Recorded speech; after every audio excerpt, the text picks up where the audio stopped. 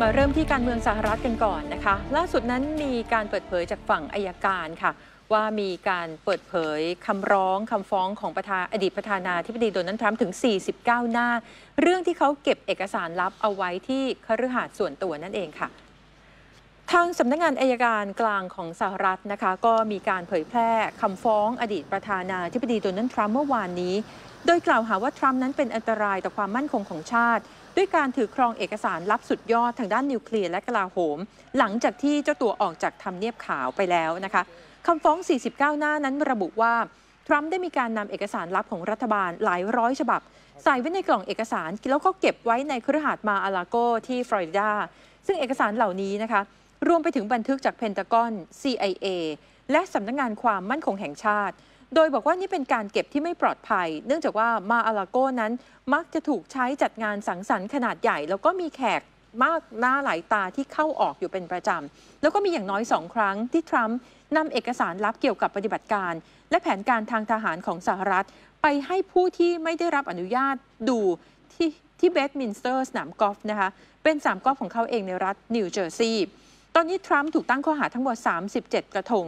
โดย 31 กระทงเป็นข้อหาเกี่ยวกับการจงใจนำข้อมูลในการป้องกันประเทศไปเก็บไว้ แต่ละข้อหามีโทษจำคุกสูงสุด 10 ปีค่ะ ในคำฟ้องนั้นระบุว่ารายละเอียดในเอกสารนั้นเกี่ยวข้องกับโครงการนิวเคลียร์ของสหรัฐ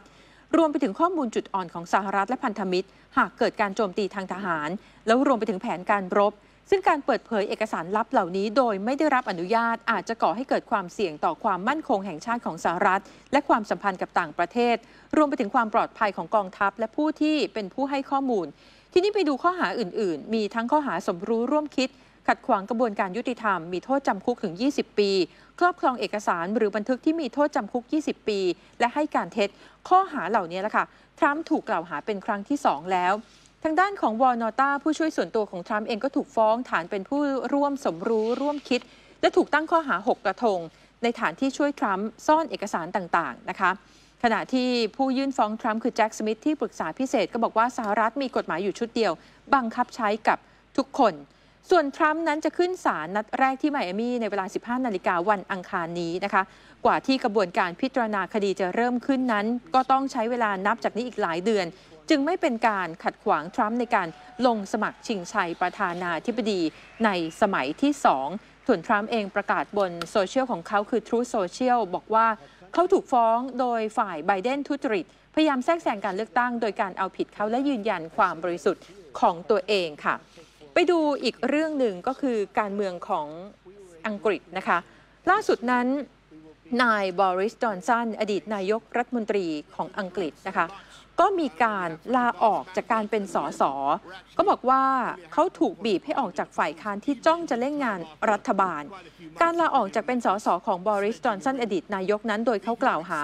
คู่แข่งทางการเมืองว่าบีบให้เขาออกจากตำแหน่งด้วยการกล่าวหาว่าเขามีความผิดคดีปาร์ตี้เกต ที่มีการจัดปาร์ตี้ขึ้นที่บ้านเลขที่ 10 ในช่วงล็อกดาวน์ที่โควิดกำลังระบาดนั่นเอง